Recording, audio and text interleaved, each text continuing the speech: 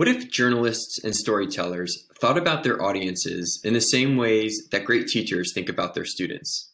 My name is Geoff Decker, and Journalism Through Learning Design is a project to help storytellers create news experiences that promote audience learning. I created this video to showcase some specific examples and practices that you can utilize to better engage your audience in learning. Let's get started. Quizzes and surveys are easy, interactive ways to activate your reader's prior knowledge on a news topic that you're writing about, a story you're reporting on, or an entire beat that you're covering. No one has the exact same knowledge of a topic when they decide to click on a headline and read about it. So this is just a, uh, a way to help readers identify their knowledge gaps and take stock of what they know and don't know before they engage with content. A great example of this is a uh, voter fraud quiz uh, created by the Washington Post a few months ago, just as electoral integrity was becoming a really important and complex uh, national story. So, what the national correspondent uh, Philip Bump here did was take a bunch of different scenarios of alleged voter fraud and ask the readers to weigh in and say, is this scenario fraud or not? And what I liked about it was as you clicked on it, you would get a, an immediate answer, yes or no, and then a little bit more context to explain why it was fraud or why it wasn't. I'm going to include links to all of the examples I talk about here. They will be included in the show notes of the video where this is posted.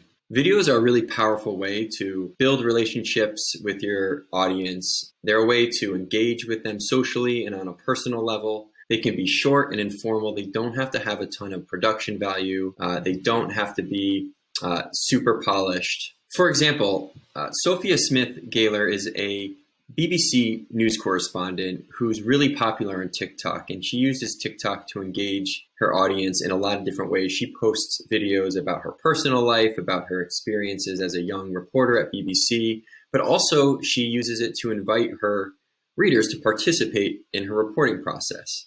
US voters! I report on TikTok and I'm making a documentary about TikTok and the US election, and I want to hear from you. Duet this video to answer my questions. One, what do you think about politicians using this app, and do you follow any?